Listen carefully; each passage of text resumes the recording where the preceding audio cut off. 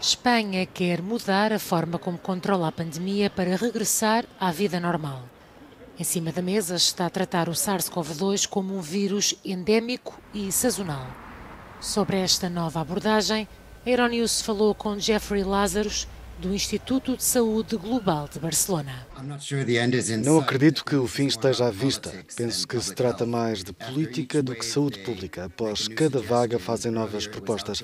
Antes era a máscara no exterior, agora é parar de contar e parar de testar. A Organização Mundial de Saúde pede prudência. Lembra que, apesar do impulso global de vacinas, existem grandes lacunas. Os governos no poder precisam de pensar nas próximas eleições, mas também precisam de adotar abordagens de saúde pública.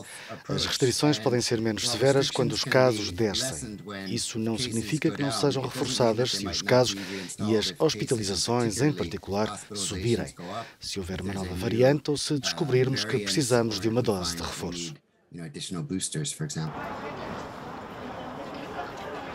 Espera-se que esta nova abordagem, que está a ser analisada pelo governo espanhol, enfrente a resistência de países como a Alemanha e a França, onde a adesão às vacinas é mais baixa.